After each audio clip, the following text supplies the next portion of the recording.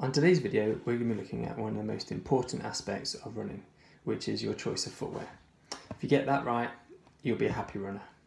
And for me, one of the things that I really like is having light footwear, so I can barely feel the trainers on my feet. Um, I don't like too much padding or cushioning. Um, I do like them to be stable, um, and I also like them to be fairly bright coloured as well. Your choice of footwear is going to depend on a number of different things your personal running style, how you strike the ground with your feet, uh, the distances you're likely to be running, and where you're going to be running, the kind of terrain you're going to be running on. So, lots of different factors are going to go into deciding your different choices of footwear. One of the brands I really like is Skechers because their trainers tend to be really light but also really well cushioned. Um, this is uh, Skechers Go Run Sonic 2 and it's a perfect choice for longer distance runs. In fact, this was the trainer that I used for my recent marathon. As you'll have seen from some of my previous videos, one of the things I really love about running is getting off-road and exploring different trails and paths. And so for that, I have these. These are called Inov-8 Mudclaw 300s. If I turn them over, you'll see the bottom. They're really, really deep treads to keep you safe, give you loads and loads of grip to get up muddy banks and things like that. They are a really close fit around your foot, feel like a glove tightening around your foot. And that's fantastic because when you're running through boggy ground, you have the confidence to know that these aren't going to fall off your feet and leave you uh, trainerless.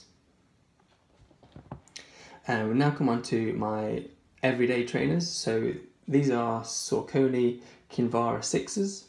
Uh, again, one of the things I love about these trainers is how light they are. So it barely feels like I'm wearing a pair of trainers. Um, these are really good all-round shoe. So I'll wear these to the gym. I wear these for any distances from 5k up to half marathon distance. Um, a decent amount of cushioning. Um, so they're just a really versatile trainer and really breathable too. The next pair of trainers are the Saucony Virratas. So as you may be able to tell, there's a lot less to these trainers than my previous pair of Sauconys I showed you. Um, most of the upper is simply a mesh. So really breathable so your feet aren't going to sweat too much. Um, really good for racing because they're so light. Um, as you can see, uh, they're well worn and I probably need to replace these soon. And these are my latest investment uh, in my footwear.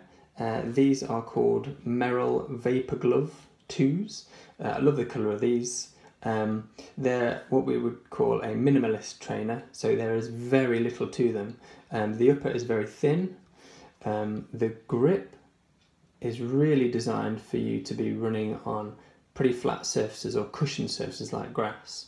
Um, you'll be able to feel everything underfoot in this pair of trainers, so I would recommend that you don't go on gravel or trails, that kind of thing, in a pair of these trainers.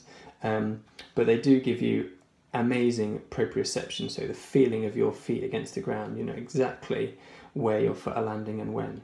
Um, and so these are great everyday trainers as well um, that you can wear throughout the year.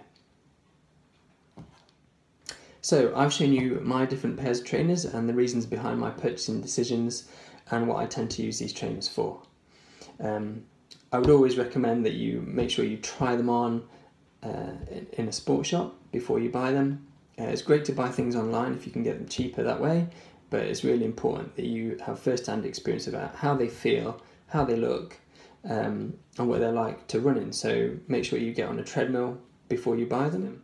So some of the key things again, just to recap, are the cushioning, how much cushioning you want in your trainer, how heavy or light you want your shoes to be, whereabouts you're going to be running, and for how long as well.